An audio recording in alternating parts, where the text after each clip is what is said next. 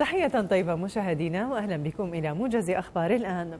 أعلن الجيش التركي اليوم أنه بدأ بإقامة مراكز مراقبة في محافظة إدلب السورية من أجل إنشاء منطقة لخفض التوتر هدفها وقف المعارك.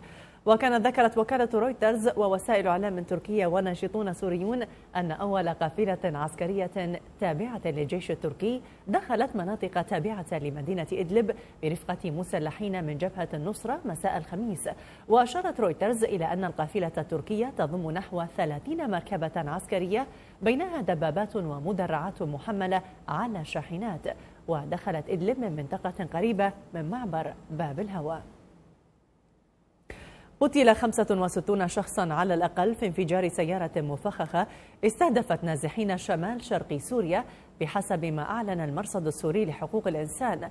ووقع الهجوم في محافظة الحسكة في منطقة يتجمع فيها النازحون في منطقة دير الزور قبل السماح لهم بدخول المخيمات.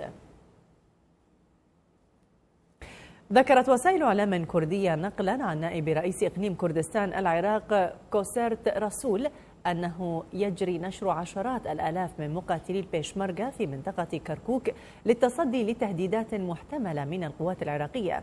وقال رسول إن عشرات الآلاف من مقاتلي البيشمركة وقوات الأمن متمركزون بالفعل في كركوك وحولها مضيفا أنه تم نشر ما لا يقل عن ستة ألاف آخرين من أفراد البيشمركة منذ مساء يوم الخميس للتصدي لتهديد القوات العراقية. وجاءت التصريحات الكردية في وقت أعلن فيه ضابط رفيع أن القوات العراقية تبدأ عملية عسكرية جنوب محافظة كركوك.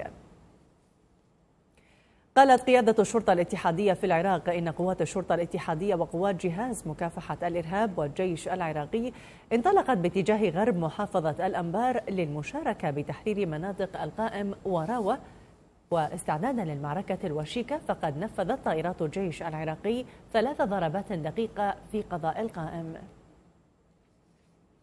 كشف البيت الأبيض أن الرئيس الأمريكي دونالد ترامب سيعلن اليوم استراتيجيته بشأن إيران لا سيما قراره حول الاتفاق الخاص بالبرنامج النووي الإيراني. وانتقد الرئيس الأمريكي مرارا منذ تولي مهامه الاتفاق هذا الموضوع.